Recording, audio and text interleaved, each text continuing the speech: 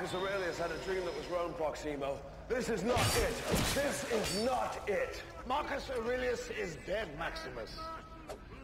We mortals are but shadows and dust. Shadows and dust, Maximus!